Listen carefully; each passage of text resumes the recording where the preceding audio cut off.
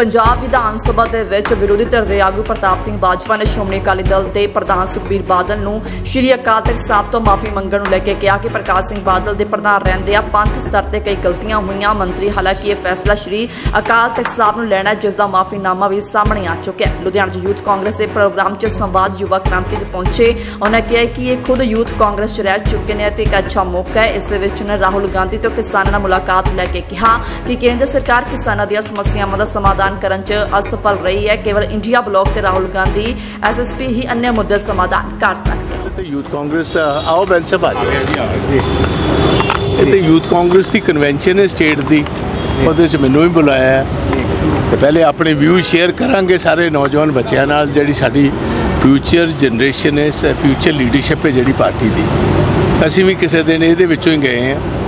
ਤੋ ਆਪਣੇ ਸਾਰੇ ਵਿਊ ਸ਼ੇਅਰ ਕਰਾਂਗੇ ਆਉਣ ਵਾਲਾ ਪੰਜਾਬ ਦੇ ਪੋਲੀਟੀਕਲ ਹਾਲਾਤ ਕੀ ਨੇ, ਕਿਸ ਤਰ੍ਹਾਂ ਉਹਦਾ ਮੁਕਾਬਲਾ ਕਰਨਾ ਕੁਝ ਤੇ ਉਹਦੇ ਬਾਰੇ ਗੱਲ ਕਰਨ ਵਾਸਤੇ ਆਏ ਹਾਂ। ਬਾਕੀ ਹੋਰ ਜੇ ਤੁਹਾਡੀ ਕੋਈ ਗੱਲ ਹੈ ਤਾਂ ਦੱਸੋ। ਤੇ ਭਾਰਤ ਭੂਸ਼ਣ ਆਸ਼ੂਰ ਫੈਮਿਲੀ ਮਿਲੋ ਕਿਉਂਕਿ ਜਿਵੇਂ ਈਡੀ ਨੂੰ ਗ੍ਰਿਫਤਾਰ ਕੀਤਾ ਗਿਆ। ਨਹੀਂ ਵੇਖੋ ਉਹਨਾਂ ਉਹਨਾਂ ਕੋ ਮੈਂ ਹੁਣ ਇਸ ਫੰਕਸ਼ਨ ਤੋਂ ਬਾਅਦ ਮੈਂ ਉੱਥੇ ਜਾਣਾ ਫਿਰ ਬੈਂਸ ਸਾਹਿਬ ਦੇ ਘਰ ਜਾਣਾ।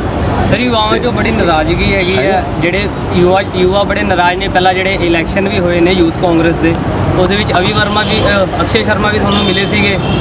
ਕਿ ਵੀ ਜਿਹੜੀ ਫੈਮਿਲੀ ਪੋਲਿਟਿਕਸ ਹੈ ਉਹ ਹੁਣ ਵੀ ਯੁਵਾ ਦੇ ਵਿੱਚ ਵੀ ਹੁੰਦੀ ਹੈ।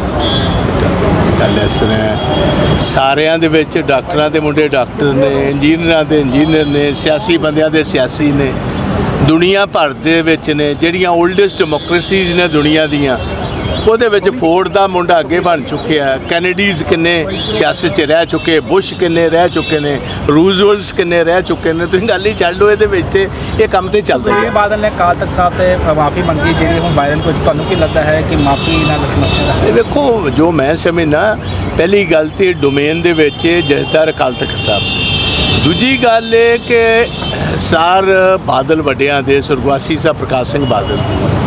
ਟਾਈਮ ਦੇ ਵਿੱਚ ਜਿਸ ਕਿਸਮ ਦੇ ਸਾਡੇ ਪੰਥਕ ਮੁੱਦੇ ਜਿਹੜੇ ਨੇ, ਉਹਦੇ ਤੇ ਜਾਣ ਬੁੱਝ ਕੇ ਸ਼੍ਰੋਮਣੀ ਅਕਾਲੀ ਦਲ ਦੀ ਗਵਰਨਮੈਂਟ ਨੇ ਜਿਸ ਕਿਸਮ ਦਾ ਰੋਲ ਅਦਾ ਕੀਤਾ ਬੇਅਦਬੀਆਂ ਦੇ ਵਿੱਚ, ਅਜੇ ਤੱਕ ਜਸਟਿਸ ਨਹੀਂ ਮਿਲ ਸਕੀ।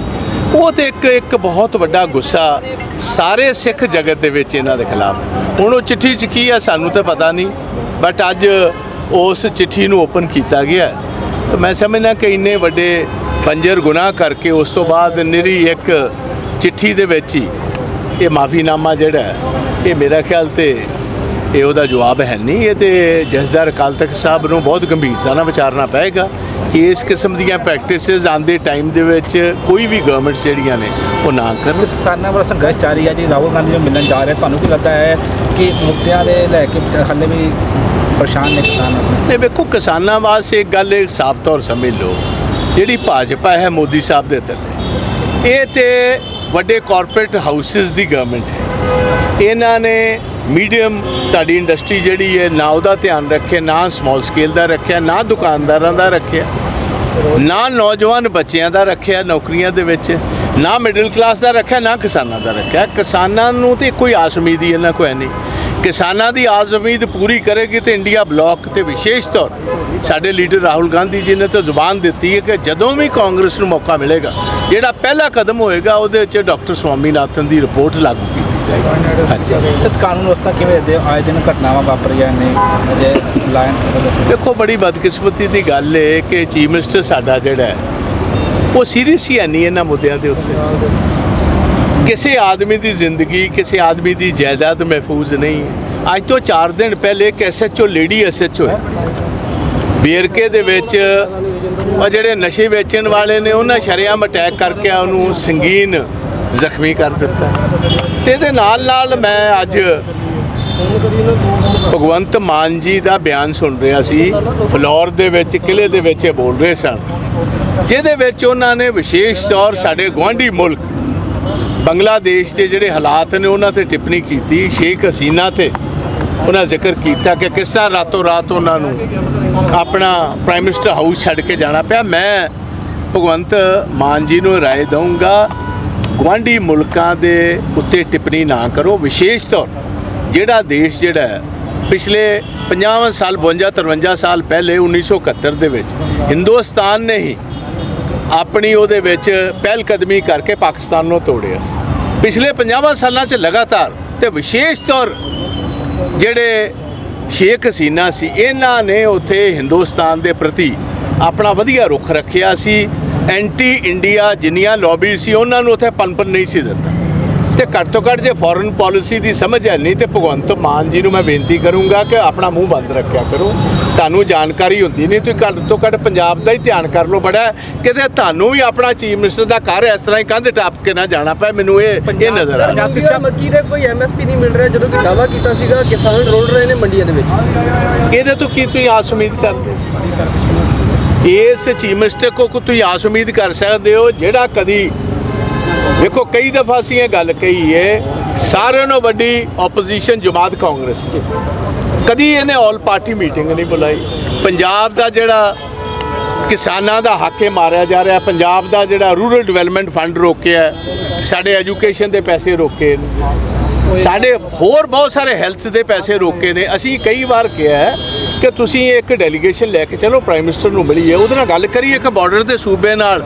ਇਹ ਮਤਰਾਈ ਮਾਂ ਵਾਲਾ ਸਲੂਕ ਕਿਉਂ ਕੀਤਾ ਜਾ ਰਿਹਾ? ਬਟ ਭਗਵੰਤ ਮਾਨ ਦੇ ਏਜੰਡੇ ਦੀ ਗੱਲ ਹੈ ਨਹੀਂ। ਇਹਦੇ ਏਜੰਡੇ ਤੇ ਇਹ ਸੀ ਕਿ ਮੈਨੂੰ ਪੈਰਿਸ ਘੱਲਿਆ ਜਾਏ 올림픽ਸ ਦੇ ਵਿੱਚ। ਤਾਂ ਮੈਂ ਸਮਝਣਾ ਚੰਗਾ ਹੀ ਕੀਤਾ ਇਹਨੂੰ ਨਹੀਂ ਘੱਲਿਆ ਜਾਂਦਾ। ਇਹਦਾ ਜਿਸ ਕਿਸਮ ਦਾ ਤੌਰ ਤਰੀਕਾ ਹੈ ਉੱਥੇ ਜਾ ਕੇ। ਇਹਨੇ ਨਜ਼ਰ ਹੀ ਲਾਣੀ ਸੀ ਆਪਣੀ ਹਾਕੀ ਦੀ ਟੀਮ ਨੂੰ। ਇਹ ਇੱਥੇ ਰਹਿ ਗਿਆ ਤੇ ਸੈਮੀਫਾਈਨਲ ਚ ਆ ਗਏ। ਰਿਜ਼ਰਵੇਸ਼ਨ ਨੂੰ ਲੈ ਕੇ ਕੱਲ ਸੁਪਰੀਮ ਕੋਰਟ ਨੇ ਫੈਸਲਾ ਕੀਤਾ। ਸੋ ਕਿੱਦਾਂ ਦੇਖ ਰਹੇ ਹੋ? ਕੁਝ ਭਾਈਚਾਰੇ ਵੱਲੋਂ ਇਸ ਦਾ ਵਿਰੋਧ ਵੀ ਇਹ ਸਾਡੀ ਪਾਰਟੀ ਜਿਹੜੀ ਹੈ ਸੋਚ ਵਿਚਾਰ ਕੇ ਦੇ ਤੇ ਆਪਣੀ ਟਿੱਪਣੀ ਕਰੇ। ਪੰਜਾਬ ਤੋਂ ਸਿੱਖਿਆ ਬੋਰਡ ਦੇ ਚੇਅਰਮੈਨ ਨੇ ਅਸਤੀਫਾ ਦੇ ਤੁਹਾਨੂੰ ਕੀ ਲੱਗਦਾ ਹੈ ਪੰਜਾਬ ਤੋਂ ਸਿੱਖਿਆ ਬੋਰਡ ਦੇ ਚੇਅਰਮੈਨ ਨੇ ਅਸਤੀਫਾ ਦੇ ਦਿੱਤਾ ਸਾਬਕਾ ਆਈਐਸ ਅਫਸਰ ਸੀਗੇ। ਨਹੀਂ ਉਹ ਤਾਂ ਚੰਗਾ ਕੀਤਾ ਦੇਤਾ ਜੀ। She was already a non Punjabi ਕੀ ਗੱਲ ਪੰਜਾਬ ਕੋਲ ਕੋਈ ਇਹੋ ਜਿਹੇ ਕਾਬਲ ਬੰਦੇ ਹੈ ਨਹੀਂ ਇੰਟੈਲੈਕਚੁਅਲਸ ਹੈ ਨਹੀਂ ਪ੍ਰੋਫੈਸਰਸ ਹੈ ਨਹੀਂ ਜਿਹਨੂੰ ਪੰਜਾਬ ਸਕੂਲ ਐਜੂਕੇਸ਼ਨ ਬੋਰਡ ਦਾ ਚੇਅਰਮੈਨ ਲਾਇਆ ਜਾਏ? ਤੁਸੀਂ ਇੱਕ ਬਾਹਰੋਂ ਗੈਰ ਪੰਜਾਬੀ ਨੂੰ ਲਿਆ ਕੇ ਦਿੱਲੀ ਤੋਂ ਕੇਜਰੀਵਾਲ ਸਾਹਿਬ ਦੇ ਕਹਿਣ ਤੇ ਚੇਅਰਮੈਨ ਬਣਾਤਾ ਅੱਧੇ ਤੋਂ ਵੱਧ ਗੈਰ ਪੰਜਾਬੀ ਇੱਥੇ ਸਾਡੇ ਚੇਅਰਮੈਨ ਲੱਗੇ ਨੇ। ਨਾ ਨੌਕਰੀਆਂ ਵਿੱਚ ਸਾਨੂੰ ਨੌਕਰੀ ਮਿਲ ਰਹੀ ਹੈ। ਭਗਵੰਤ ਨੂੰ ਮੈਂ ਪੁੱਛਣਾ ਚਾਹਨਾ ਮਾਨ ਸਾਹਿਬ ਤੁਸੀਂ ਨੌਕਰੀਆਂ ਦੀ ਗੱਲ ਕਰਦੇ ਹੋ 80% ਨੌਕਰੀਆਂ ਜਿਹੜੀਆਂ ਪੰਜਾਬ 'ਚ ਥੋੜੀਆਂ ਮੋਟੀਆਂ ਝੂਠੀਆਂ ਸੱਚੀਆਂ ਵੀ ਦਿੱਤੀਆਂ ਨੇ ਉਹ ਸਾਰੇ ਬਾਹਰਲੇ ਸੂਬਿਆਂ ਦੇ ਲੋਕ ਲੈ ਗਏ ਨੇ।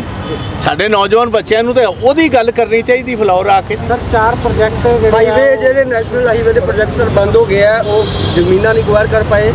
ਕਿੱਦਾਂ ਦੇਖਦੇ ਹੋ? ਬਹੁਤ ਨੁਕਸਾਨ ਟੋਟਲ ਅਣਗਹਿਲੀ ਹੈ ਭਗਵੰਤ ਦੀ। ਕਿਉਂਕਿ ਤੁਸੀਂ ਤੁਹਾਨੂੰ ਮੈਂ ਹੈਰਾਨੀ ਦੀ ਗੱਲ ਦੱਸਣਾ ਪਿਛਲੇ ਤਕਰੀਬਨ 4 ਤੋਂ 5 ਮਹੀਨਿਆਂ ਵਿੱਚ ਇੱਕ ਵਾਰ ਆ ਸੁਣੋ ਇੱਧਰ ਕਾਕਾ ਕੈਬਨਿਟ ਦੀ ਮੀਟਿੰਗ ਨਹੀਂ ਬੁਲਾਈ। ਜੀ।